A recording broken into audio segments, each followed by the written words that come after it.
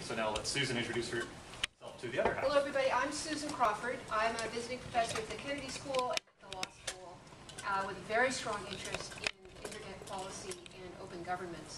And uh, my half of the class is going to be studying OpenGov, basically. Um, and also, I'm just thrilled that we're meeting here and that we now have such an enriched lab for all of you. Uh, I also want to introduce Diane Chang, who's here.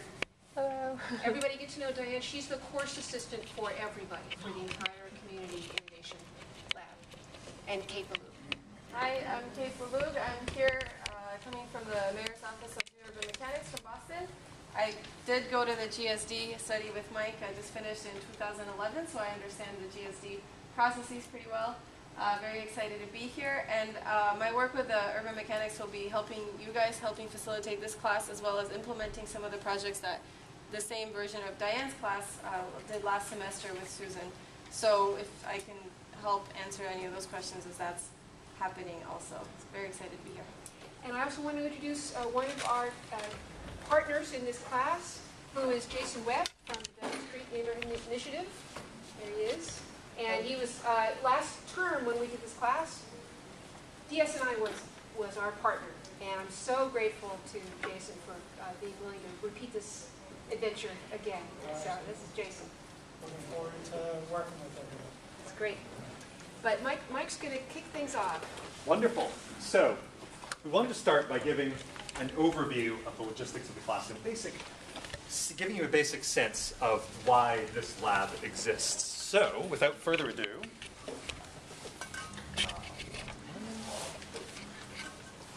Uh, the reason we've got you all in this circle, uh, particularly this class, is that second hour, Marshall Ganz is going to be here talking to us. Uh, a wonderful person to talk to us about working in, in the neighborhood and with people. yeah, this is huge. I don't know how many people are familiar with Marshall Ganz. Oh, Brilliant. So this is a really exciting opportunity for us. He basically is going to speak to you about, you know, how do you actually engage? Obviously, it's going to be a whirlwind tour, but how do you engage with communities? Um, and then later on, we're going to have a little bit more of an advanced workshop with Marshall's team on how to um, engage more deeply. So we're going to get this sort of introduction today, and then a more deep um, uh, study in community engagement and organizing with Marshall uh, over the next couple of weeks. And that's really exciting because some of you may have tried to take his classes, and as you know, he's a very hot commodity on campus. So the fact that we've been able to snag just a little bit of his time is huge. And that's partially because he's really um, intrigued, I think, by the idea of this class, which is a bit different from a lot of courses either at the KSG, sorry, I use the old acronym, HKS, or GSD. Um, but that's okay.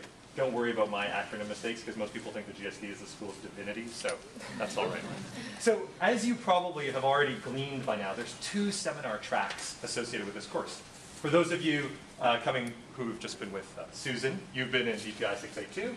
For those of you who were with me this morning, you've been in GSD 5468. The, the foci of these two seminars is slightly different. The group who's studying at the GSD are looking at participatory planning and design. The group who have been here for the last hour are looking, as you know, at the application of tech to solving community problems. So different focuses for those two groups, but then coming together into this shared community innovation lab from four to six. So it's a pretty novel structure, but I think a really exciting one because it brings together students with really diverse interests, which you know, as a proxy for the real world, usually architects don't just work with architects, planners with planners, policymakers with policymakers. The truth is, you work in interdisciplinary teams. So that's exactly what you're going to be doing over the coming term. So what is going to actually happen this term? Well, students are going to learn about a particular neighborhood. Dudley Square area, Dudley more broadly, Roxbury neighborhood. You're going to be working with three communities, community organizations in this area. So you're going to learn a tremendous amount about the community groups working there and this physical space. And you're going to work with these communities in real life situations, grappling with real life challenges. And you're going to iteratively develop collaborative projects over the term that try to address some fundamental concern of our community partners. Again, you're going to do that in these interdisciplinary teams. And in the course of doing that, you're going to see how the knowledge that you gather through those two seminar tracks can actually be applied. A lot of that knowledge might be a little bit abstract. How it can actually be applied in real life scenarios, sort of where the rubber hits the road. So we have sort of a slightly more abstract component, the seminars, and then this very real life element. So you're, again, you're going to engage very closely with a bunch of different partners.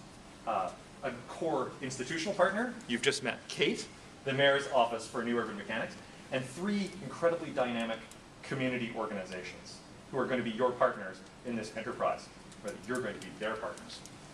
Slight difference, but an important one. Um, and you're going to collaborate with these partners and your peers to develop innovations, plans, and prototypes, again, that can tackle some sort of core challenge that they face. And hopefully, that innovation, that prototype that you develop by the end of term, is going to be elegant enough and cheap enough and suitable enough that it can be delivered, it can actually be implemented. So we're looking at things that have the capacity for implementation. And that's why our association with the Mayor's Office of Urban Mechanics is huge, because they're going to provide some tangible resources of a couple of types, not the least of which is the institutional continuity that Kate's going to provide once the term is over, giving a, a life to these projects beyond the class. So I think as I mentioned in the talk we gave to the, at KSG uh, in the intro to the class last week, you know, a lot of projects just at the end of term, they go on your C drive. It's been a great experience, but that's the end. The hope here is that these projects can see the light of day, be implemented, um, and live, again, beyond the hard drive of your computer. So, this is just a brief, very brief overview. As you know, the instructors, Susan, myself, teaching assistant, Diane, all of this information is contained in the um, syllabus. Do you want to quickly, since we have some newcomers? Yes. All right. All right. Hi, Not to put you on the spot, sorry.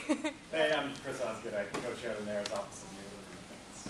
I'm Michael Jacob. I'm the other co-chair of new mechanics. So this is this is huge because It's because they're Despite what we look like. white shirts and black suits. well, you see, they, they actually thought they were going to the Burger King presentation there for long. And remember, growth is everything. Um, part of the mantra of this is that part of the mantra of this class is that maybe it's not. It could be, but maybe not. Um, so the, the, what the mayor's office in urban mechanics brings is this incredible uh, innovation in city government. So many of you may have worked with city governments in the past or been exposed to city government. Um, what I love about this office is it's sort of everything sometimes that you maybe think city government isn't. This is like some of the most creative, uh, ingenious people working in city government in the United States. Uh, you hear their name brought up when you talk to other city governments about how do you do something interesting? Well, maybe you should try to emulate these folks. So this is really, really exciting. Um, and I think just the fact that they've actually come here, I mean, this is all also incredibly outside the box. you might get city officials to come and critique your work at the end, but the idea that they're going to work with us and the community partners to actually develop the project is, quite frankly, exceptional and pretty damn exciting from my perspective. Incredibly important to this whole process, really at the heart of this whole process, are three community partner organizations. Now, Kate, Jason, others are going to say something about these, um, but just to introduce them, we have the Dudley Street Neighborhood Initiative, which with, with which Jason is associated, the Orchard Garden Residents Association, a public housing uh, tenants association, and the Upham's Corner Main Streets Initiative, which is uh, association of businesses, small businesses, and entrepreneurs. So three very different organizations working in the same general area, all with incredible strengths, incredible resources, and some serious challenges that we're going to learn about over the coming term. Incredibly exciting. So I won't give away uh, the punchline on our organizations at this point, just to say that they're really exciting. So, just to give you a whirlwind tour of the approach of the lab, we're basically going to progress in a series of exercises from learning in the abstract about this community in this physical space to working with the people who actually occupy that space, finally to developing ideas with them, and then refining and honing those ideas, and finally getting to something that has the capacity to actually be implemented and hopefully make a real difference. So it's this sort of iterative process, focusing in, working broadly at first, and then honing down. The specific design, you might be wondering, especially if you're from the GSD, hey, where's the design brief? So just to put it out front, the specific design briefs that you'll be given are actually going to emerge from your relationship with your community partner, and of course your strengths, passions, interests, and skills. So there's these broad topics that the communities have identified that are of interest to them. But in terms of the specific design brief, you know, the parameters of the thing you're going to be working on, that's really going to be a thing that emerges from that very personal relationship that you'll develop with your community partner. So it's to come and it's going to grow out and be very unique to your relationship, both with the space and the people that you meet and work with. Again, a little bit outside the box, and just to warn you, if you love working alone or maybe with like-minded people, this, this is probably going to be a bit of a change. Naturally, there's going to be some people in this room coming from Susan's class who digital tech is their life. And there's probably going to be someone from the GSD class who just, they're an architect and they love architecture, they love physical structures. And there's going to be a lot of people in between those two poles. And the great thing is your teams are going to include a lot of those assets, interests, and skills. And so, again, that's going to inform the direction you ultimately go. And you're going to be working collaboratively with your peers to figure out where your strengths are. Uh, who can do what, who wants to get out of their comfort zone the most, who's a little bit more cautious, etc. So again, it's going to be a very personal relationship in these interdisciplinary teams. So we've said that there's a focus on technology. Obviously, one of the courses that feed into this lab has a direct, direct focus on technology. Um, and broadly, this lab also does. And in that sense, we're defining technology very broadly, maybe very traditionally in a way, as the application of science, art, and craft to the improvement of life. So actually what is defined as technology is constantly being iterated and is open to redefinition based on, quite frankly, how applicable these tools and methods are to the improvement of livelihood. So this area of what constitutes technology is constantly being redefined. You're going to be part of that process. So at the moment, it's hard to say what actual technology or what facet of technology you're actually going to be dealing with, because again, it's going to come out of your relationship with the community. Um, but suffice it to say, the definition of technology we're using is very broad. You get to be part of the definition of what it what it will actually be for you. So again, just to give you a quick sense, if you look in the syllabus, you'll see how each of these weeks, these sessions play out. But effectively, you're working from the introduction today to understanding Dudley is a very broad area, a physical space, and then honing in, interacting very closely with your community partners, understanding their strengths, assets, needs, developing, looking at precedents, for example, developing three ideas with your community partners that seem to have some sort of traction, honing those three ideas, choosing one that seems the most workable, the most elegant, the most useful, recalibrating with partners, other groups that might be able to assist, funders, uh, other people who have a sense of how these things work in other contexts, for example. And finally, presenting both publicly and to your community partners this idea. So basically, in terms of sort of a macro structure, you're basically working from sort of a broad scoping of issues down to this narrow refining of your innovation um, that's been developed with the community you're. So just to give you a broad sense of the overview, broad sense of. I'm actually going to leave the maps for Kate. I know she has better maps. Um, but just, and I know if you happen to get a chance to read the Streets of Hope chapter, you have a broad sense of where we're talking about and a lot of the issues the community is facing. Incredibly exciting community. Importantly, one that Harvard students don't get to enough. Often, as I was saying this morning, you know, Somerville's a long way away. Um, and more the shame for it. So I think this is going to be a really exciting opportunity to learn about Boston as a complete city um, and really get a sense of what's going on in a part of the city that you might otherwise not go to. I think you're going to find it a really enriching experience. So I'll leave the maps for Kate. Um, couple of logistical notes, informations, information, readings, activities are described in the Community Innovation Lab schedule, which is separate from the two seminar schedules. You've already been given a copy. And all pertinent information is also posted on the Tumblr site. Uh, Dan will probably have more about Dudley that. Cla- actually, I'll write it on the board. Please, yeah. Dudleyclass.tumblr.com. And you can always email me if you're somehow not able to find information. I'll be glad to forward it on. So maybe on that note, I should, uh, we ha- also have some information on the assignment for next week, but we can leave that for now. And maybe we can turn over the table to some other folks who have a few words of introduction for you. Yeah, we, we always start with people. This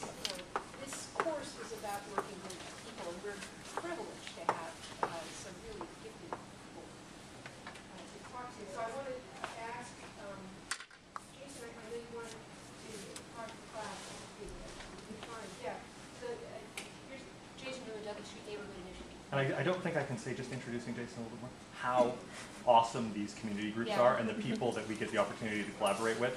It's a, it's a huge, huge opportunity for us, so thanks a lot, Jason. Oh, not a problem. Um, And it's also a privilege for us as a community, as an organization, to continue to work with folks. How are you? Um, Time and time again. So last year, we were, you know, the sole community group. We were like the guinea pig. you Poked in pride, and, you know, and now we're back for more. Uh, because what we got out of it was great. So, um, as a way of introduction, my name is Jason Webb. I'm the Director of Administration and Finance for Dudley Street Neighborhood Initiative. Um, I grew up in Dudley. Um, I'm actually a resident there of 32 years. Been with the organization for 25 years. So, grew up in the organization, grew up in the community. As you guys read parts of Streets of Hope, you know, a lot of the challenges that we faced 28 years ago are real. And some of them are still real today in terms of our community. So we continue to struggle as a community, even though we've gone 28 years forward, and we have ama- amazing accomplishments, but there's still a lot of struggles. There's still a lot of challenges. We will challenge groups such as yours to come up with innovative ideas that we've not thought of and that we have not come up with. So, but I also want to send an invitation to you guys. This Friday and Saturday, we're actually holding a conference. It's actually our first conference that we've ever had. It's called Growing Community Development Without Displacement. Now pass this around to everybody. I think I made enough. And this conference here is, it's really nine workshops that we have developed over the years. Some of them has to deal with how we actually have revitalized our community. And one of the things that I'll offer to us, because you guys are partners, is actually free registration to the conference. So it, it may be a great way if, if you see a workshop and you're like, oh yeah, I really want to know more about that issue, may actually help you with your next class assignment, um, then please go on to the Eventbrite, register, and where it says pay now, just say other payment options. And say pay by invoice, pay at the door. As long as I have your email address, then I'll know to comp, comp the registration, so. But that's all that I have for now, because I know on the Tumblr site, because I was on there recently, there's a bunch of information about the organization and about what, what we've done. So I want to thank everybody for, again, the opportunity for us to work together again. It's great, glad you're here.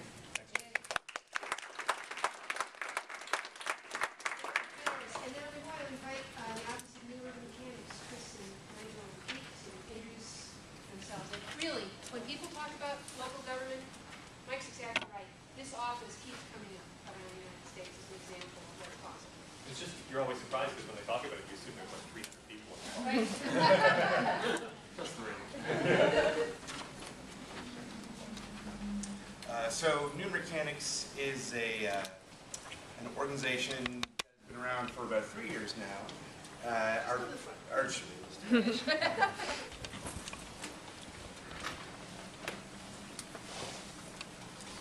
so, as as I say, so we've been around for three years. Um, our vintage is uh, when Miramino won his fifth term. Uh, so he's been in office now 20, About 20 years. 20 years. And the challenge for, uh, I think, a long city mayor is really, upon reelection, you know, what new do you have to say?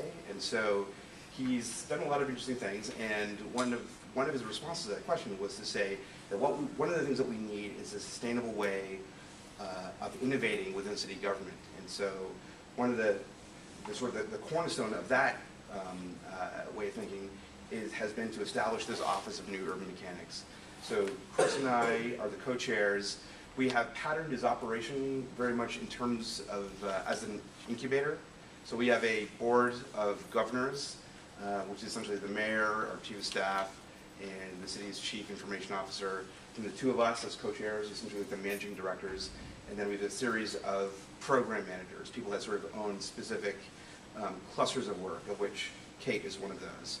Um, you know, we have been calling ourselves a civic innovation incubator. Um, and I, I, recently I, I started describing ourselves as a civic innovation collaboratory because the, I think people responded to that, so I think that's what we're going to do. We have a huge range of things that we engage in. So the, the, the basic way that this works is that we we understand, and there there just is just a handful of us now, um, and a city like Boston obviously has incredible resources um, at the community level. There's there's universities, there's community groups like Jason's, there's private individuals, for-profit companies, uh, nonprofits, and so on. And the challenge for us is not so much how do we do things internally to city government that will be innovative, but rather how do we stitch together these different communities into these networks that are doing really interesting things. And so all of the work that we do is, is comes out of this collaboration across uh, verticals, uh, across these different sectors. And so as a result of that, we do projects that are on the one hand, um, oftentimes technology flavored, uh, but we're certainly not technologists in that sense, right? So we, we think about technology again, sort of as Michael was saying, in the most general sense. And so we also focus a lot on, on design, um, on sort of partnering with local local design firms or sort of global design firms also, uh, in terms of trying specific interventions within communities to sort of change the way that people relate to the built infrastructure and think about and interrelate to the, relate to the city and so on. So a lot of different things in there. And our work with universities falls somewhere in between. People, um, university researchers, faculty that are looking to to get more deeply engaged with communities and solving real world problems and sort of having a lasting impact um, at the community level. So that's sort of the, uh, the four-minute spiel of new mechanics. I would add one, one Yeah. small thing before turning over to Kate. So as Michael and Susan referenced, there are tons of cities that are out there right now that are, that are doing urban innovation in some form or other. Our specific sort of brand of it is one that is really built around the idea of uh, the notion that a city really will work for everybody when it is built by everybody. That is a terrible uh, plagiarism of a Jane Jacobs quote, but that is this idea, this idea that if, if Boston is really sort of co-created by all of our residents, by all of our institutions, we actually will be a city that works for all of those residents and all of those players. And this class is really about exactly that. It is about collaborating with neighborhood organizations, with fellow students, with city government itself, to figure out how do we actually do stuff that is new and better, that solves, that takes new approaches to solving long and enduring challenges that our city has been facing. Um, and so I, I, I welcome and really excited by all the folks that are here. Um, as you enter these projects, bring yourself. Like we really want your imagination and your creativity. Uh, we had an awesome class uh, last spring, and what made it terrific was the moment when all the students started uh, to really sort of push themselves to think about what could they do that would be really new and really different and really imaginative. And we got some crazy ideas, a whole bunch of which we're actually uh, doing with Jason and Kate now. Um, and so I'm really excited for, for this class and for what we can actually build and create together. So I'll introduce the, really briefly, the three community partners. So can we get the, the map? So as you already met Jason, we had worked with Jason last semester and knew that we would be continuing to work with him. So DSNI, the organization that Jason works with, is a large community organizing planning body uh, within the Dudley Street area. They've been around since 1984. They're a very powerful, exciting, dynamic group in the neighborhood that does a lot of different kinds of development and, and growth, and from education to physical development to cultural development um, to community organizing. So there, the flag right in the middle of the map is where they are. Um, do, does everyone know where that is in Boston? We need to zoom out for a second so you get a sense. Zoom the wrong way. So, Here we go. and where, so we're, We're here. there you go. So, so as you see this, I don't, how many of you have been to the Dudley neighborhood before?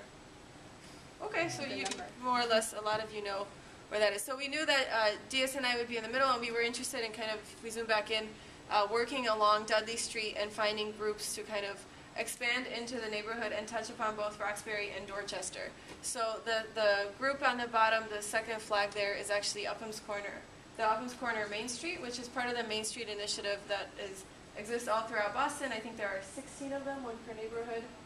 And they help local businesses, they help spur local economic development, they help start new businesses, educate small business owners about uh, opportunities available to them. So Upham's Corner is a very interesting area. It's primarily uh, Cape Verdean, but there's a lot of economic disparity in the area. They have a lot of really interesting issues that they're excited for students to work on, and the person uh, who will be working with there is Max uh, McCarthy, who's the executive director of that organization. So they uh, primarily work with volunteers. He's a staff member of one.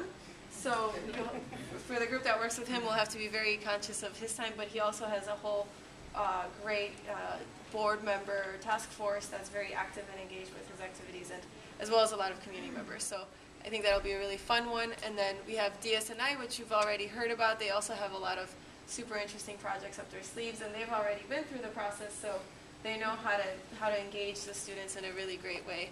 Um, and then the last one up north is the close to Dudley Square itself. Is the third flag there, right by Orchard Park, is the Orchard Gardens Residents Association. Orchard Gardens was a Hope Six project that was redeveloped in the early uh, 2000s, late 90s, uh, through the mobilization of the local residents association. So this was a largely abandoned, very kind of troubled housing site.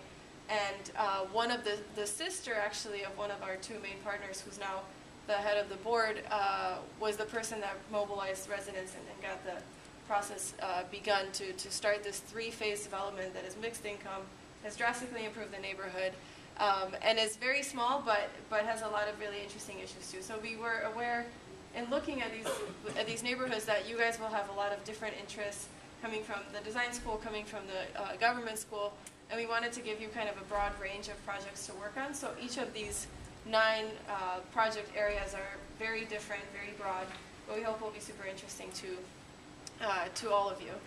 So that's that's really it. This map is available on your class website, so that uh, you can kind of get a sense of the area. And the the other things on the map are other organizations that I thought might be useful for you to kind of be aware of as once you start designing and working on your project. They might be people that you'll end up reaching out to to get some more information, get more context, and get a different perspective on the projects that you're proposing.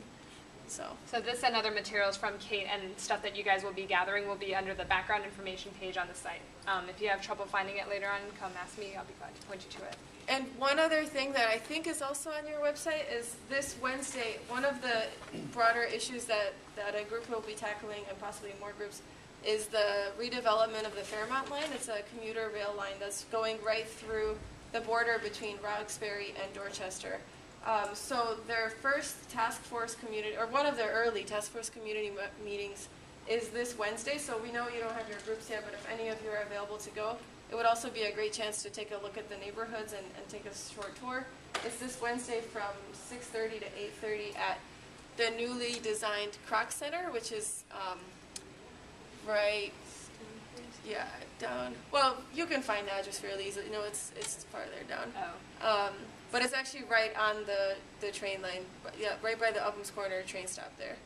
Um, so that's a great time to go check out the neighborhood and get to meet some of the residents if you're able to get pinned there. yet. It's not pinned yet, Okay. sorry. It's so new, it's not even pinned yet.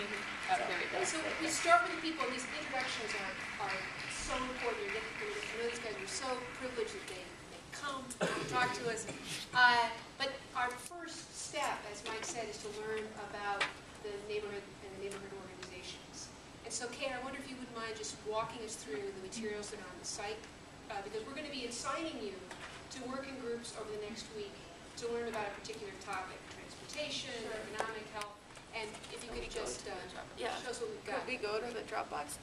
So Yeah, we, Case does a fabulous job of amazing. assembling. it uh, wasn't me, it was somebody on City Hall that helped.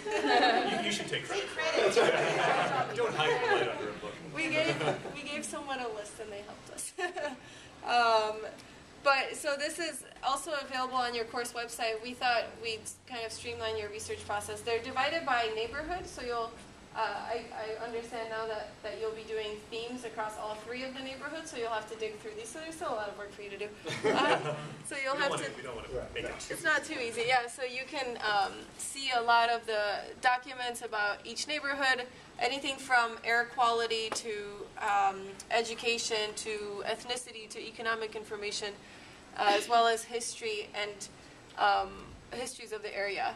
And then we have a whole section here that we're still finishing up that should be up tonight uh, with maps of each of the neighborhoods that also has a ton of demographic information. And um, for those, we know that GIS or the GSD students probably know GIS, but these are GIS maps, so um, we didn't want to get the GSD students working on GIS maps all week, so we kind of did some of the legwork for you there. And these will be uploaded and finished uh, by tonight. So this link is on your course website, and and it should get be a good start for everybody in their research. This is, this is fantastic. You should also, of course, feel free to, uh, I mean, this is an incredible assemblage of materials, uh, but you should feel free also in your investigations, and we'll, we'll more formally introduce this assignment shortly, reach out to other materials as well. Those could be, you know, other books, literature, people. Maybe if you go to this community meeting attend Jason's conference, you know, feel free to draw on personal interactions. And as we move into these assignments, moving down from sort of broad scoping to refining, you're increasingly going to move from those secondary sources and those sorts of things down to that conversations, talking to people on the street, engaging very, very closely uh, with your community partners. So um, again, no reason not to start, on the other hand, those personal contacts uh, now if you have the chance. I would say that as, as you guys go through these projects, if there are sort of data sets or visualizations that would be very useful to you, please let us know. We're actually really interested in making more data publicly available that we might have, and uh, the best way for us to find out what's most useful is to get your direct insight. So um, please use us as a resource, any of us for that. So before we move on into the assignment portion, we've been talking a lot at you. Uh, Questions, reactions so far? Yeah. I have a question actually from a ways back when Michael was explaining the expectations for the course. So you mentioned funders. Is part of this project also identifying how to raise funds for these, you know, ideas? Or is that just a component? It's not part of the deliverable?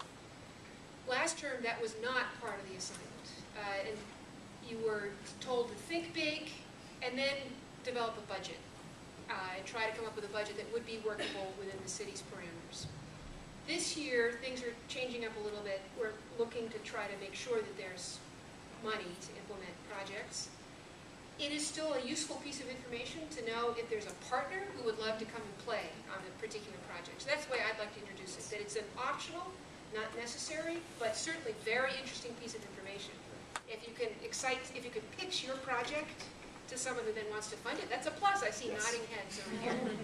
I I think like as one of these recalibration phases later on, one of our hopes is that you would then say, okay, we've developed an idea with our community partner. It seems to make sense to us. We've run it by at the public review. We're going to have a Saturday session where you present to experts, community members, uh, other interested parties, and get a sense, does this work? But then hopefully you can take that out and say, well, maybe the thing you're developing is a, a digital tech application. Maybe you can go to Kendall Square. Maybe it turns out there's a group there working on something related. You can say, look, we're at this stage. Does it make sense? Okay, we've said that this would cost blank thousand dollars, and the person either goes, oh, actually, you've overestimated technology is such that, I, or they laugh. You know, oh, that's so so charming. Um, how sweet. Um, you know, so I think you know, getting to that stage where you can sort of, since we're at a B school place, we can say, you know, ground truth it. Uh, I think would be I saw your Vital. foot go up when you said ground truth. That was pretty funny. some sort of spontaneous. It's sort of like a heel kick of joy. Yeah, really. So I, that, does that answer your question? Yes. You know, uh, that this is not a packaged class. It really isn't. Uh, and, our, but our expectation is that you will, guys will be fantastic. Yeah. It's actually a requirement. And you and you worked a lot with Roxbury Comprehensive or the Upper Center. doesn't have to do it all. So uh, we have not, as New Urban Mechanics, the city has done a lot with both, but, uh, but we have not yet. But if that's a connection. Yeah. And we have talked about, with the Upham's Corner Main Street, about Upham's Corner Health Center being one of the possible kind of extended partners. So they're, have a lot of outreach programs for youth. yeah, Yeah, exactly. That's, the- that's the one we've talked about. I Uh-huh. work with the Boston uh, disparities absolutely. No, it's- Guava Ferrera. Are there- Just, just from what I've heard here, I think you should probably try to get on her team. As a word to the wise. Other, other questions at this point, early on? Yeah, anything? I thought I saw a hand. Nope. All right. Uh, the assignments for the next class, if we're ready to move I on to that. it up. uh, it's- have it? It's, oh, it's on the syllabus. Oh, yeah, Yeah. John. Sorry, it's, it's a, it's a kind of a burning question. I don't want to assume that I know the answers to, to certain things at the beginning. And since we've got this group here, what, in your words, would be, why, why, what in your head and in the conventional thinking makes this area of particular importance? Just, this physical space. Geographic. So I, I, it- it starts with the partners, actually. I- It is the, it is the partners much more than the place. Jason is a terrific partner, DSNI is a great partner, um, and it is one of the premier, um, sort of community development organizations in the country. Um, and you can read tremendous amount of books, whole books about them. The Main Street, which is adjacent to it and in Upham's Corner, uh, is a critical, an area of critical interest for the city of Boston for a wide variety of reasons. There's a lot of economic development, going on there, interest in sort of doing more to, to spur that. And then the Orchard Gardens Tenant Association is a real sort of uh, direct opportunity to work with a local group of residents. Um, The partners define this reason. And, and to add, um, our community was the most devastated twenty-eight years ago, where everyone kind of said, we're gone, we're backing up, you know, you might, there, there were plans to build fences around the community, to do some stuff that's unfortunately happening now in like Detroit, and New Orleans, where, you know, it was just so devastated that folks just said, you know what, we, there's no hope. There's no community there. There's nobody living there. Let's just block it off and let's just forget it. So for, for the community, we've continued to organize and have continued to give power to make sure that um, the job is not done. And we, and we look upon our partners at the city and other development partners to remind them that the job's not done. We are not fully revitalized as a community. We still have a lot more work to do. We've done some tremendous work, but there's still a lot more to do. So anytime that we've partnered with the city to think about different things in their neighborhood development division, you know, loves and hates us because we, you know, push and pull on uh, what, what we need. And we continue as a community to have the city bring other departments to, to the realm. So like the ur- urban mechanics, we're, we're in this new partnership. We're maybe only three years old. And three, three years ago, it was us calling on them to come to the table because we were going after a federal application around how we can actually do education reform throughout the city. And we, we called on them to bring in some technology expertise and sit down with residents and think outside the box of, you know, if we got this money, which this December we'll know if we do get this money, um, how we can actually, you know, implement some technology features that could possibly change education outcomes for our youth in the community. So, for one, one of the things that you'll see maybe in a film is folks saying that um, this community was the most devastated. It was also a way to send a signal to everyone out there that if you can put Dudley back on the map, then you're golden. Everything else is pretty easy compared to, you know, what some of the hurdles were to actually get Dudley Street back on the map, so. So um, just one more point there, to the issue of scaling, I think it is very useful because Dudley has this rich history with organizations like DSNI of, of community activism. We're seeing that that isn't the case in a lot of other communities, and so the, the notion is that if we can use Dudley as a as an experimental test bed to try out some of these ideas and these, these approaches, that we can then take that and bring that to communities that don't have the same level of infrastructure or sort of social infrastructure in, in a sense, and to actually help them. So they're, hopefully, this will create a context for helping a lot of other communities um, around the city. I would say around the country as well, because I mean, certainly the ideas that we develop here, we would be very interested in sort of scaling to other cities. So. Absolutely, yeah. The grand plan here is that any policy school, any graduate school should be able to find a way to work with uh, local government, community organizations, academics in a kind of a community innovation lab. Um, So we're hoping in a pedagogical ma- matter develop things that are scalable and also to, in the classroom, have a shared knowledge of this geography. That's why we're not picking disparate uh, areas. We want everybody to learn about this place so that even if you end up working with a different government, a different local group, you'll know about this neighborhood. So, uh, and they have the capacity to cope with us, which is great. You know, and that's part of it. There's a question. There's a question? I'm Yeah. just curious, are we gonna have an opportunity to work with any of the elected officials in the local elected officials? Yeah, the. We can- We can Why not? eventually bring in, yeah. Yep. I'm, I'm sure that we- there will be some very interesting folks. Yeah. I can imagine all kinds of things happening. But I love that attitude to just, Yeah. be- I mean, Yeah. that's going to be one of the things you do over the coming weeks. Yes. Is sort of mapping out, you know, who is a relevant person for you to engage with? Is it elected officials? Is it other community groups, as Kate highlighted? There's other organizations active. To what extent will you engage with them? To what extent might you just hit the streets, you know? Um, and especially in the early stage, to just figure out what the heck's going on for you, because, you know, we have a huge sort of leap that we need to make in terms of our knowledge, first of the communities, their assets and their uh, challenges, but also of this physical space, because it is so different than what most of us are experiencing here.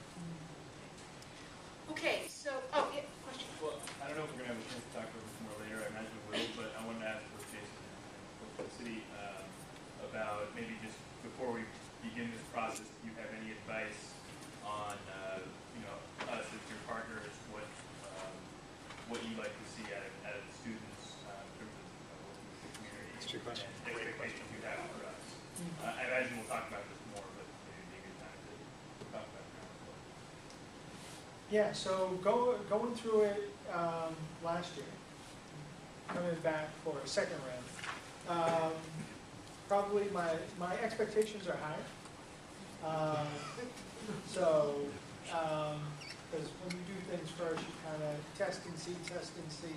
Now we actually know what we want, so we will, we will push each and every one of you to think differently. We will, as as what Susan said, um, you know, all, all of you are walking into this community as guests. Um, some folks can walk into a community, uh, as a guest, and other folks can actually walk into a community thinking that they're an expert. I would say to all of you now, you all are guests in my community. Please do not walk into my community as experts. You will actually disrespect residents, you will disrespect the partnership. So that's one important thing. Um, one of the big things that, that I always love to push folks on is their creativity. Please do not think that anything is out of bounds. The only thing that is out of bounds might be the checkbook, but we'll figure that out. So please come up with, you know, crazy ideas, wacky ideas, something that you may have seen on TV, like, damn, that could work. Because we're actually implementing one of those things right now that folks thought was crazy from last year, but it's actually being implemented, you know, as we speak. So please come with your A game, because that's what we're going to expect, and that's what we're gonna push you. We're, we're, we're not going to accept an, an easy technology product or something that you may say, oh, well, this is actually a blueberry now, it's not a blackberry. No, no, no, there's no repackaging, there's no, come up with, some, with, some really out-of-the-box ideas. So- Something that will make me, because I'm a huge technology geek, be like, wow, all right, now we're talking. So, so that's what I'm expecting from everyone is, one, you know, be humble coming into this community, uh, because the community's gone through a lot, and the community's gone through some partnerships and have dealt with other universities and other students.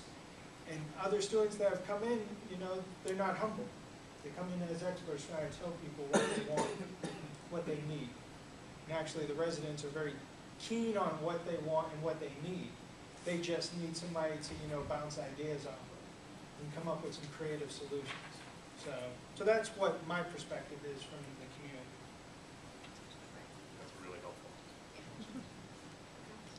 I I would, I would note, sorry, I think in the- the reason you guys all went to design school or public policy school is to take on sort of the biggest challenges that we face in this, in this world today, to, to close the achievement gap, or to reduce health, reduce health disparities, or to improve the quality of housing in our, in our cities. And if the answers to any of those things were easy or known, they would have been done, and the whole intent of this effort is to actually think creatively and originally and with stuff that really is, seems perhaps up in the beginning slightly off the wall, because the solutions are going to come from doing real innovative experiments, not sort of clever repurposing of existing ideas that haven't really come through in other places. Um, so given, given last, uh, last year's efforts, in what capacity will we be introduced to those, those projects, projects that are being pursued? Yeah. So that, you know, I'm trying to not repeat a lot of the same. Oh, build interesting. build Uh. We were thinking of uh, bringing Kate in a little later to talk about how, how things are being implemented. Uh, We'd be happy to uh, do that early. I don't think there's any chance you're gonna replicate. And you know, this is, this is, Harold Bloom talks about this, the anxiety influence. You know, no influence, you just start, you just start. We will talk to you eventually about Kate's experience of what, what happened. But I don't think there's any chance you're gonna replicate. Nah, not gonna happen. You guys agree? Yeah. Yeah. Totally. Totally. Uh, It's pretty fun last year. Um, And this year too. Okay, other questions, and then we'll go on to the assignment? No, no, no. Okay, so, Mike, we're gonna, we're gonna do this. Um, So we move from the people to the neighborhood. Yeah. And what we've done is pick nine topic areas for research. Again, starting with the, with the material for cover site, but using your imagination and smarts. And uh, there are a lot of you today, who rejoice in that. But it's, and we don't quite know exactly who's in the class yet, so what we're gonna do is count off by one, two, three, four, five, six, seven, eight, nine, and remember your number.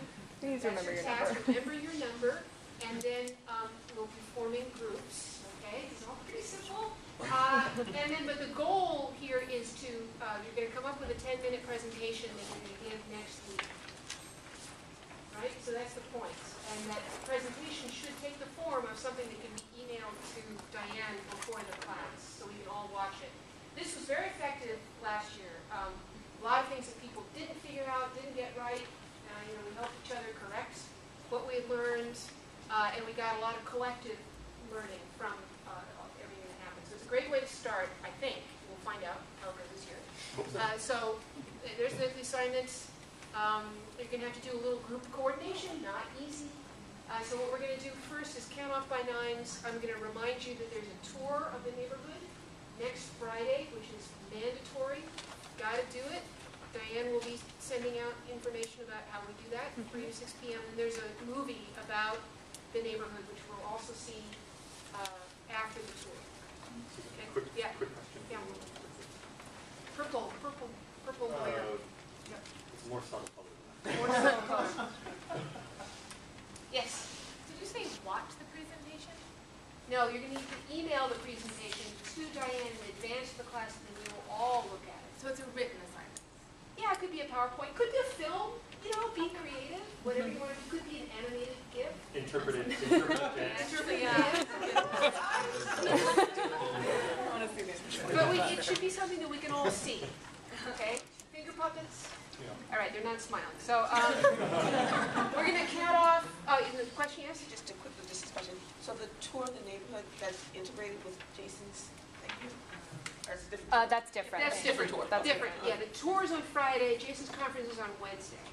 Tour is not this Friday, but the Friday after. It's on the syllabus. Oh, it's next Friday? Yeah. Right, it's not this Friday, it's next Friday. Thank you for clarifying that. We really worked hard on the syllabus, we tried to make it as as clear as possible, but it's always possible to screw it up.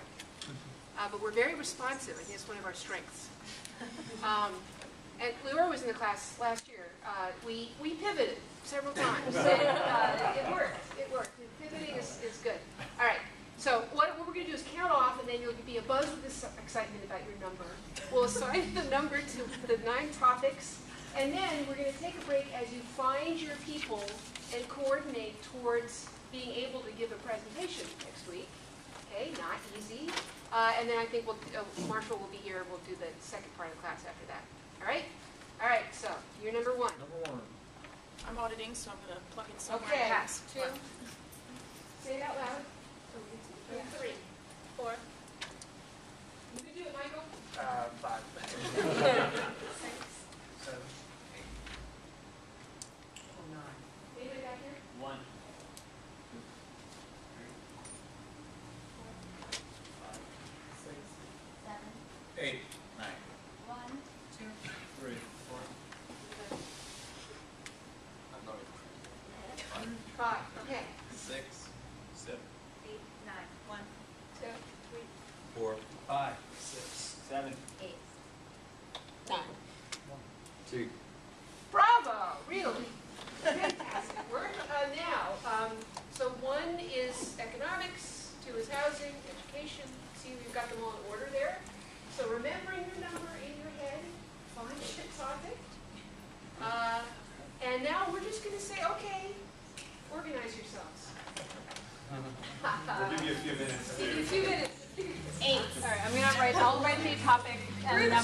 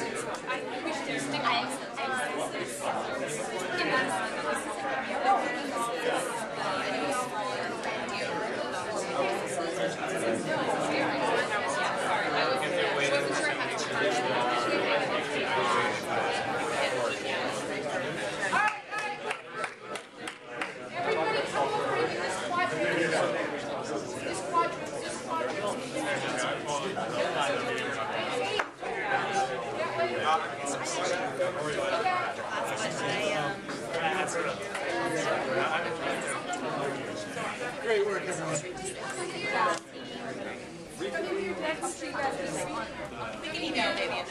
What do you, what do you want to do? Let's get back in the circle, the kumbaya circle.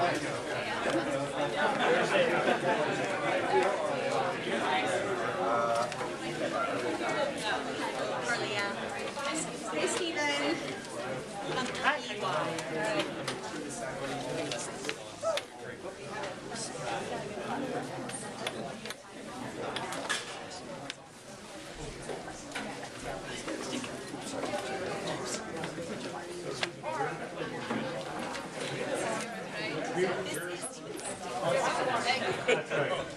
relative.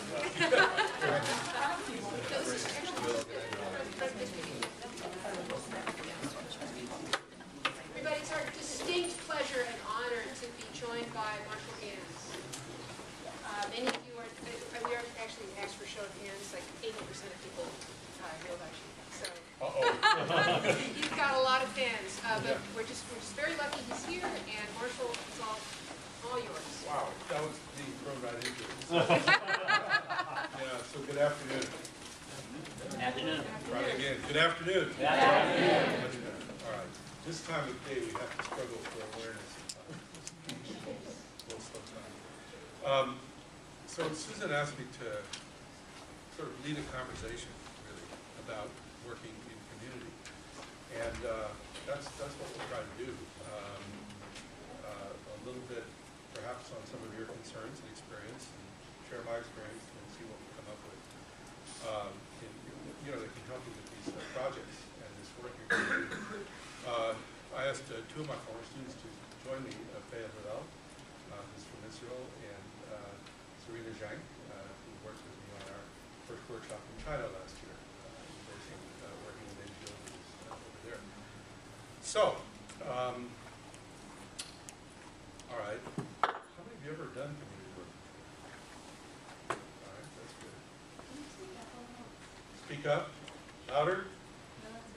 All right, that's good. All right. Well, let, actually, let me back up for a minute. First, who's here from outside the United States? All right, where? Uh, originally from the UK, but living, I've been living in Lebanon for the last four years. Oh, good, a peaceful spot. Yeah, well, well, Uh, born in Brazil, lived in the all right. France? India. Yeah, India. Okinawa, yeah, Mexico City, okay. Singapore. Singapore? Is that it? Okay. How about within the US? Uh, How about from the West? Where? California, San Francisco, California. Where in California? uh, Southern California, the desert, Oregon, Mojave Desert? What, Barstow, someplace like that? in between Barstow and Victorville, No, Boron? No, called Helendale. Helendale, famous spot, yeah. Yeah, where else? In the West? California. Where? Uh, Hermosa Beach. All right, Oakland, Oakland? Los Angeles, Yeah. How from the West? The West broadly understood. How about the Southwest?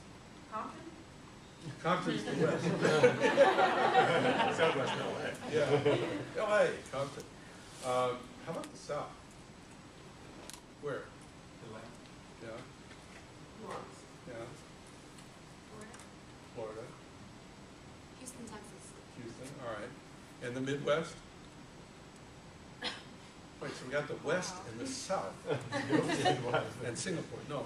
The west and the south, all right, how about the uh, middle Atlantic states?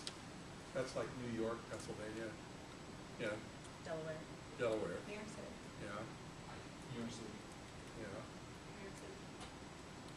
all right. New England? Yeah, where? New Hampshire. Yeah, Grew up in Portland, Maine, yeah, Newton, Massachusetts. Newton, Boston. Boston, New Hampshire, all right. Cape Cod. Uh, where did I miss? Um, is that about it? So why am I asking that? Why do I want to know that? Why do I want to know that? Yeah, You're asking about our community of origin and why, why is that relevant information?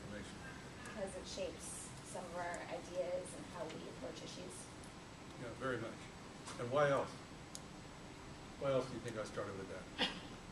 Cultural differences in terms of communication. Yeah, that's good. And why else? Why else? You want us to feel part of this group and comfortable. Oh, okay, there's inclusion exercise. Why else? Well, from your class, one of your first questions is, uh, who are your people? Yeah. So I know whose people, people, who, whose people, people are. No, I, all these reasons, and, and, but also because I wanted, I think I wanted to underscore the fact that you have a lot of resources here to draw uh, in terms of dealing with different kinds of communities, different kinds of backgrounds, different kinds of settings, and I think the first thing to be clear about is that communities, you know, are not monolithic, and they're diverse, and they're diverse within themselves, they're not uh, easily stereotyped, uh, and uh, the, the range of experience that's here ought to be very helpful. Because it's very helpful finding yourself in a particular context, to be able to compare notes with others. And then reflect back on your own context and sort of where you've come from. It's a whole learning challenge uh, in, in my experience. Um, and my experience, uh, just briefly, was has ma- mainly been after uh, dropping out after my junior year here at Harvard College, was in the civil rights movement first. It was uh, I grew up in California, Bakersfield, California. That's why I'm curious.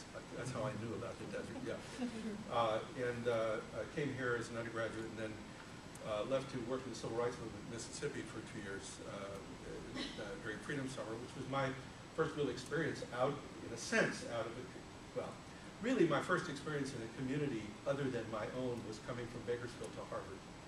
Actually, that was the first very shocking experience because uh, it was a big shift uh, coming from uh, an oil and agriculture town in California with a small Jewish community. My father was a rabbi there. Uh, to Harvard, which if you think it's elitist now, you should have seen it then. uh, I don't know if you've ever seen the Geezer Parade. You know the Geezer Parade? The Geezer Parade is that the, at commencement they have the procession of classes, and you know, uh, like starting with the class of Ought five or whatever it is, whoever's around. And it's a little bit like these, uh, you know, little white guys. It's like the, the human evolution charts. and then gradually, little more like this. And then there's a few women, and then more women, and then a few spots of color, and then it changes to what it is now. So it, it was quite a different, different spot. A pretty, both exciting and intimidating place to come. Um, so after here, then I went to Mississippi, which was yet another encounter. Worked there for a couple of years. Went back to California, where I'd grown up. And Cesar Chavez had just started an uh, uh, organization of uh, mostly Mexican immigrant farm workers uh, organizing a union. Now, in that case, I'd grown up in the middle of that community, but I'd never seen it. Uh, I had to come to, uh, well, I really had to go to Mississippi to get educated about race, power, and politics in America, to go back home and see a, a community of people of color uh, who have no political rights, uh, very few economic rights, and discover that California had its own rich history of, of racial segregation going back to the turn of the century Chinese. Uh, and that as late as the 50s, we were desegregating movie theaters that had Mexicans upstairs and whites downstairs. And so um, I learned that Mississippi was really not an exception to America, but an example of America that we needed to change. And I found it right, ho- right where I'd grown up but hadn't seen.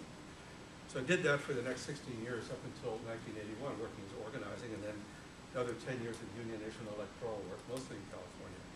Then was invited to my reunion here, my 25th reunion, even though I hadn't graduated. Uh, while here, got the idea of coming back to finish my senior year, which I did in 1991, uh, and then graduated class of 64-92.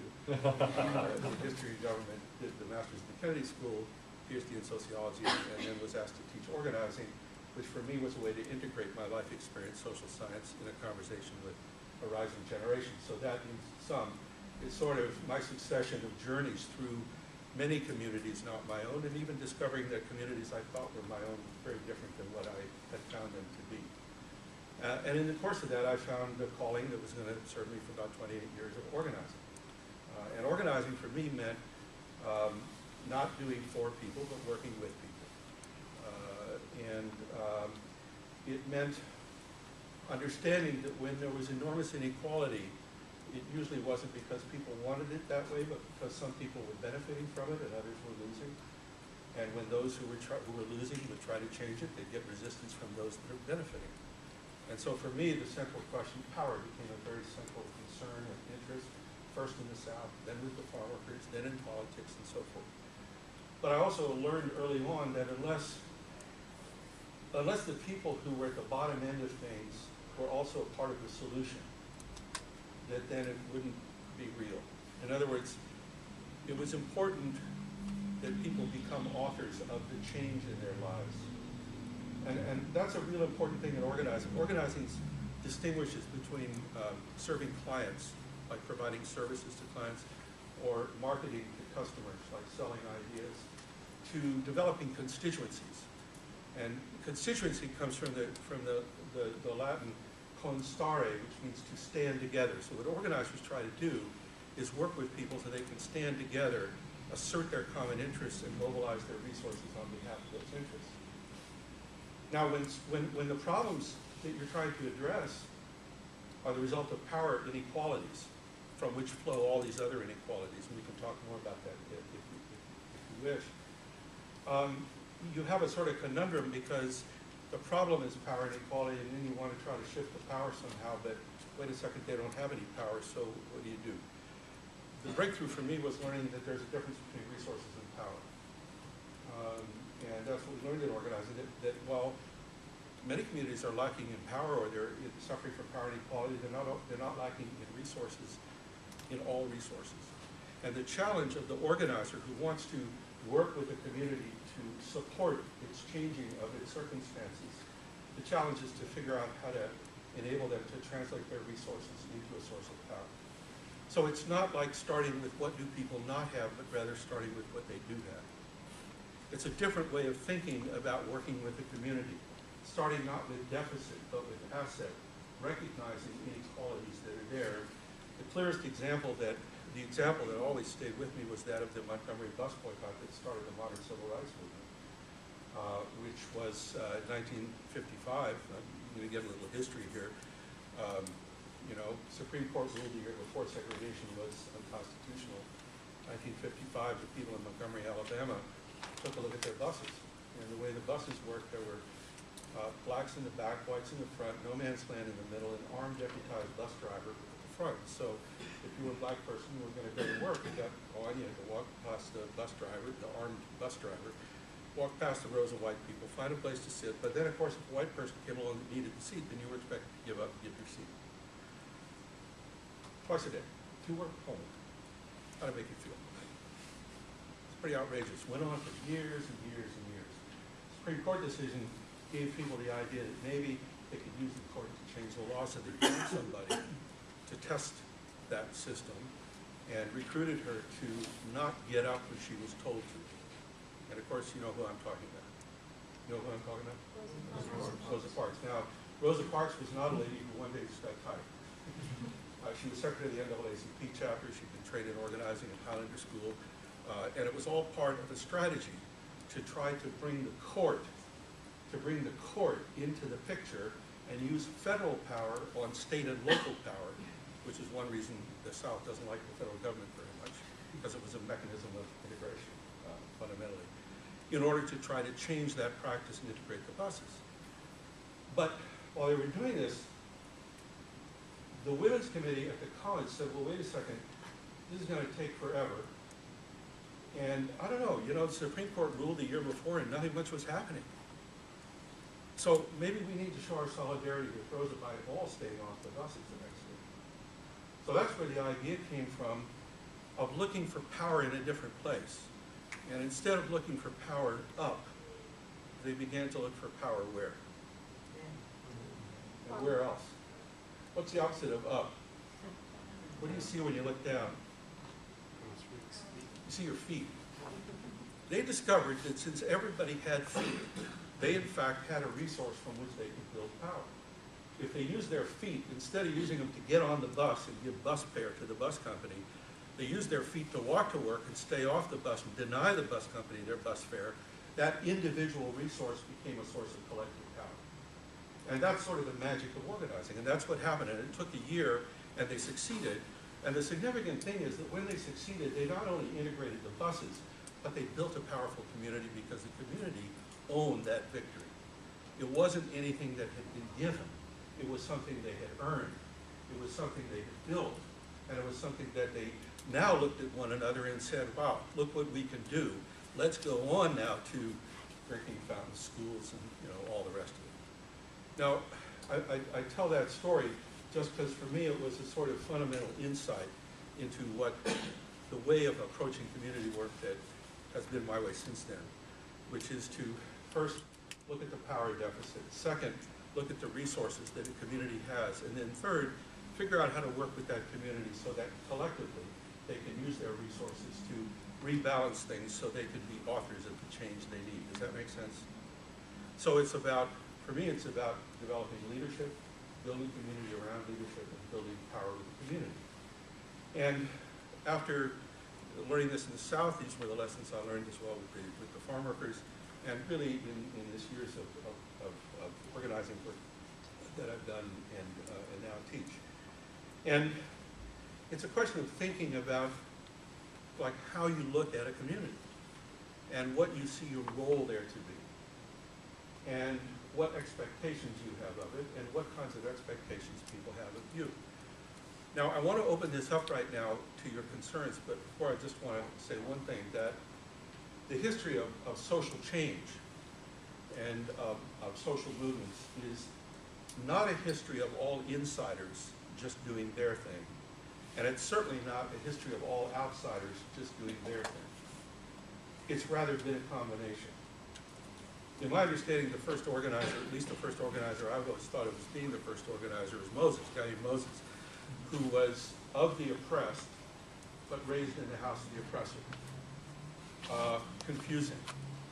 Uh, experienced the urgency of a need for change, but also being raised in the house of the oppressor saw the possibility of things being different. And it was confused. He had to go to the desert to sort of sort it out, you know, which is where in the Bible you go to sort things out when you're confused. Uh, and eventually came back uh, as this sort of organizer figure. And the reason I mention that is that if you run through Dr. Martin Luther King, for example, was he an insider or an outsider to Montgomery? Well, he's African American. He's a PhD from Boston University, sort of a member of the black church aristocracy. His father and grandfather, big black church in Atlanta. Was he an insider or an outsider to a person working on a plantation? It's complicated. And, and so the reason I mention that is that sometimes people on the inside think that they they got all the answers, and sometimes people on the outside, especially if they come from Harvard, think they have all the answers.